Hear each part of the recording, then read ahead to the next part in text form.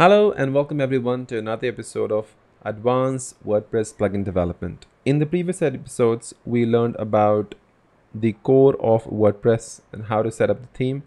In this episode, we're going to learn about how to set up your Webpack and Babel and all the linting tools. Now, this is an advanced WordPress plugin development course, so I'm not going to be going in depth uh, about how things are done. So if you need the in-depth information, I've explained that uh, inside of this series, which is Advanced WordPress Theme Development, it talks about Webpack and Babel and it explains it everything in detail. So I will basically be going ahead and setting it up. But if you'd like to know, you know, the in-depth knowledge of how the things work under the hood, you can definitely go through these. This will give you a detailed explanation of each and everything. Okay.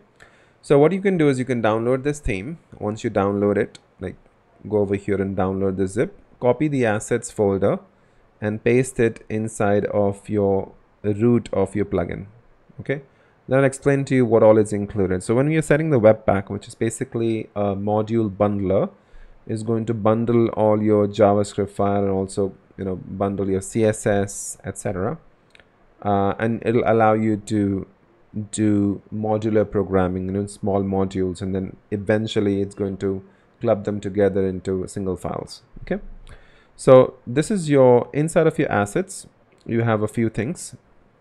First thing you have is the package.json. So make sure that uh, cd into the assets directory and do npm install. Okay.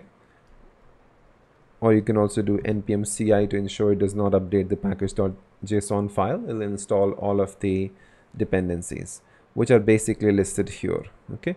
So it has a, a bunch of things. Uh, for example, it has got the Babel packages. Uh, it's got the SVG packages, uh, WordPress packages for your Gutenberg block development, and then you have the Babel loader, copy Webpack plugin.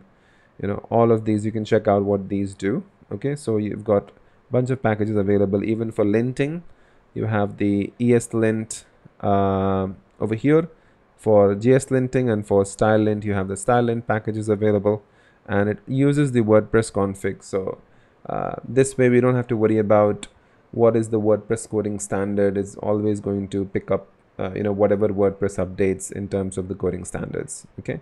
So that way we will ensure that our code is as per WordPress coding standards. Especially this is useful when you are submitting the WordPress plugin into the WordPress org directory, uh, WordPress org uh, SVN okay.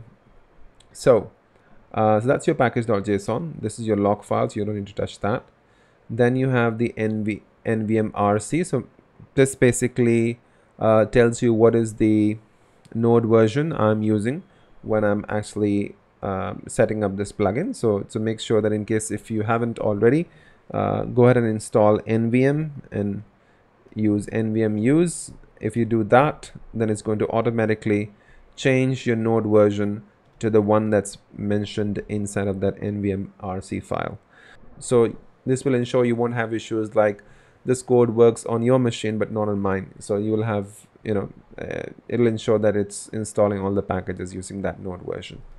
All right so that's your nvm rc uh, then you have your babel file. Uh, this is basically using some presets to ensure that it supports the last two Chrome versions, Firefox, Safari, Android, and uh, IE as well. Okay, so basically the reason why you use Babel is because the modern JavaScript is not understood by all the browsers. Okay, so to ensure that when you write modern JavaScript like um, your ES6 syntax, etc., then uh, it goes and converts it into a JavaScript that most browsers can understand. Your code can run on other browsers as well, which are not even supporting that. So it'll convert that. Okay, that's why you use the Babel. Then you have your ESLint uh, RCJSON. So this has all the declaration as per the WordPress recommended uh, way of WordPress coding standards. you are using the Word ECMA versions. You can change that depending on you know whatever the version is going on for ECMAScript. Uh, then you have the global you have es uh, 6 you have these rules all of these are configuration or setup okay you can change these or you can keep it the same if you want right Then you have the ESLint ignore. So this is going to ensure that it ignores the node module and build uh, when it's actually doing the linting. Uh, when it's running the linting uh, on your code, it's going to ignore these guys right here. So it's going to ignore build and it's going to ignore the node module. Okay. Um, so that's your three files explained. Then you have your stylelint uh, rc.json. This is the configuration file as per the WordPress coding standard of the stylelint. And these are the rules that are set up uh, that you can again modify as per your needs. Okay. Now, coming back to your webpack config. So under the webpack config, we have certain packages uh, that have been installed already, uh, which you can find in the package.json and they have been installed under node modules. All these packages are present. Uh, this has your mini CSS extract plugin. Again, you can check the usage of that. I've already explained that in previous videos. Uh, under that, under this playlist, so you can always check that out. And you can also go ahead and Google it and see what all each of these do. I won't be really going in depth of that. Okay, but here it is. You can check it out what this this do basically. Okay?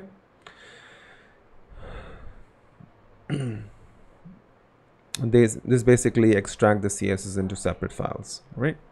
You have the optimized css plugin you have the css nano you have clean webpack plugin uglify copy. Copy uh, plugin is something we'll be using later but i've just put it here for now.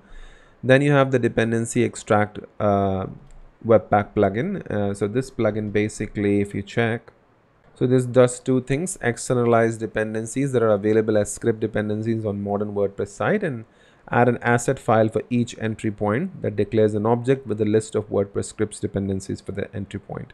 So at the time of registering a particular block it requires a, it has certain dependencies.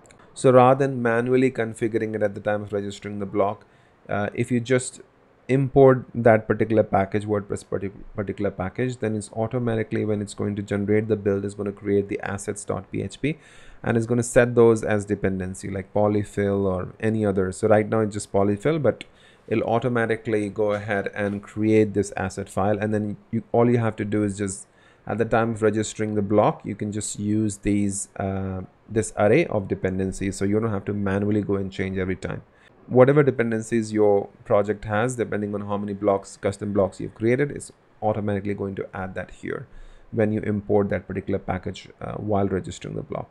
Again this will all make sense to you when we are developing the gutenberg block but for now just to let you know just the basic understanding of what this does.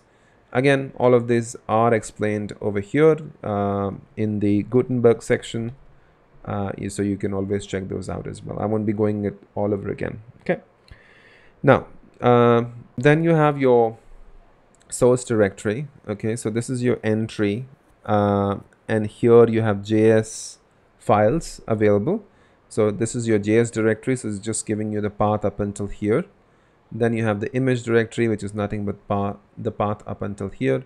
You have the build directory so uh, this that is the path up until here okay so the entry for now, I only have one file, which is the editor.js. We will definitely do more, but for now, this is all we have, the editor.js. Uh, so the Webpack takes two things. Uh, first is the entry, where you want to source your code from. And second is the path to the output, where you want to output that particular file. Okay, so we are taking the input as an entry point as this editor.js and we are outputting inside of the build directory with that name and when you import the css uh, in this case is a Sass file from here then it's going to automatically bundle that and also create a css folder and then include that file. So this gets bundled into editor.css and because we are saying the name here okay uh, it's going to automatically go ahead and use editor.css and it's going to output that inside of the css directory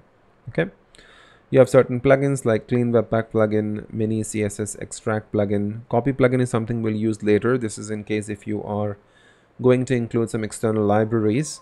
And then you have the dependency extraction uh, webpack plugin which we I have already explained to you about over here. Okay uh, there are some rules like uh, at the time of bundling what are the folders it's supposed to include? Supposed to include the js directory which is this directory uh, what is supposed to exclude is supposed to exclude the node modules directory which is right here okay? And then it's supposed to use the babel loader. So this is to ensure that your modern javascript gets converted into a javascript that most browsers can understand. Secondly because webpack only understands javascript it doesn't doesn't understand css that is why we are using the css loader and sass loader the job of which is basically to convert the css into javascript that webpack can understand okay so we are using this uh, mini css extract plugin uh, loader uh, the job of which is basically to extract the css that you have imported here and convert it into you know editor.css and output it there. Okay. Then you have uh, file loader which is basically in case if you're going to bundle your images then it's going to use all of these type of file extensions png jpeg svg all of those things and uh, it's going to go ahead and use this file loader for bundling them okay? You also have these uh, fonts uh, for the file loader. We also going to use the font these fonts as well. So in case if you want to go ahead and include fonts in your plugin uh, let's say for the edit let's say for the backend you know you're building a plugin where you want to use a certain font uh, this is for that. So you can you know go ahead and bundle your fonts as well so that webpack can understand that. So you're using file loader for these font font types. Okay so coming back uh, so then finally you do the module dot exports you pass the entry point which is right here on top. So where it's supposed to take the entry from and the next where it's supposed to output. So it's supposed to output inside the build folder. Okay then you have the dev tool source map. Again you can read about it you have the module rules you have optimization. So these guys are going to optimize your your code. Uh, optimize css asset plugin uglify is going to uglify your code. Uh, basically we just want to when we output it we want to ensure that the file is as small as possible. Okay so that's why we're using a bunch of optimization tools. Uglify the code like remove things that are not necessary and all of those stuff. And then whatever plugins you are using the you know goes over here. So this entire this plugins uh, constant you know that is being added over here. Okay so tell webpack that what plugins are supposed to be used and for what purposes.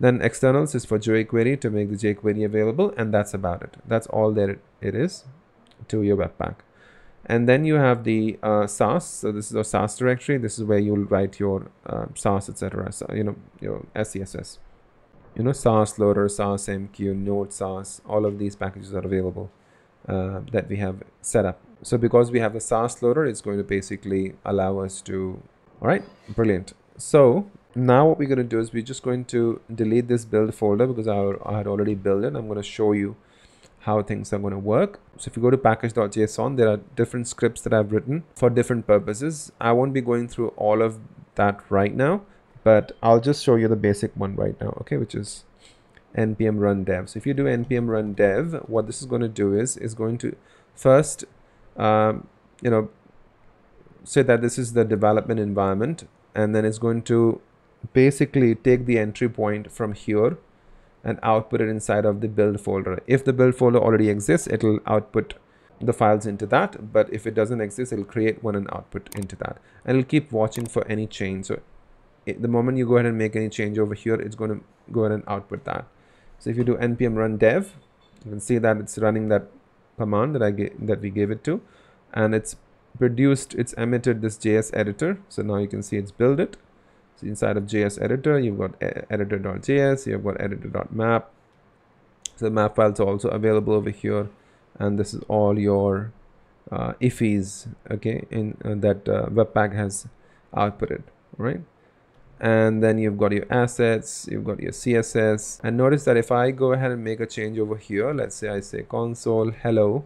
So Webpack is already watching and it's again regenerated it if you go back to the editor.js and look for hello see it's added that there right if you remove this and save it okay again webpack has run it and see that code is gone right so this is really good for development because you don't have to keep uh, going ahead and uh, rebundling it's always going to go ahead and watch okay and then you can also run that in the production mode okay uh, these are for linting purposes. So you can run npm run lint is going to lint all of the files inside of the JS directory. This is going to fix all of the errors, whatever it can by automatically. is for linting css this is this is for pre-committing uh, generally before you push the code it expected you it is expected that you lint your files and make sure that all the code is as per the wordpress coding standards and, and there are no errors etc so it's going to run these three commands. First it's going to run the lint css fix then lint js and then finally run the npm run prod. So it's recommended. So it's recommended that you run npm run pre-commit and then uh, pre-commit it before you go ahead and push your code. Okay so that's about it. I hope you did like the video. If you did, please give a thumbs up and do subscribe to my channel if you aren't already. And do star my repository to support my work. And please follow me on Twitter. My Twitter handle is Codeytek. So I'm going to see you in the next video. Thank you very much. Bye-bye.